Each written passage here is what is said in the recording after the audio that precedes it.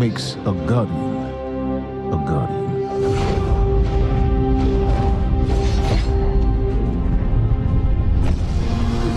We take our first breath with no memory of who we were before. Yet, we are inexorably drawn to the light. We fight. We die. And we live again.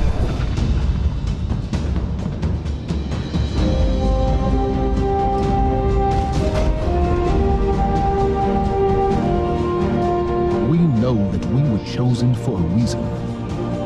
By something greater than ourselves.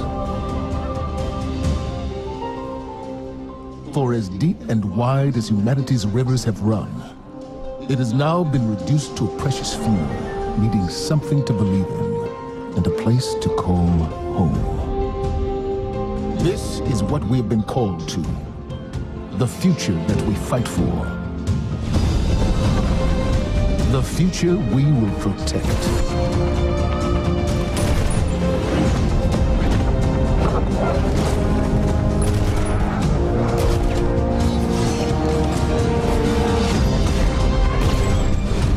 Shaped by the fires of each new battle, we are forged and sharpened into what we must become for the fight ahead.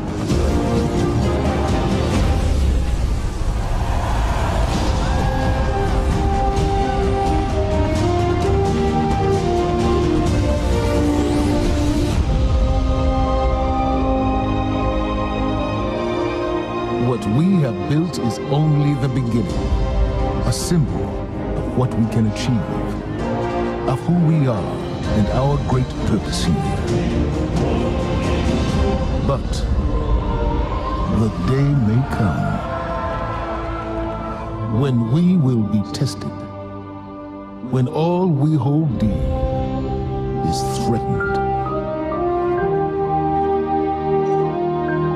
And then we will see what each of us is truly made of.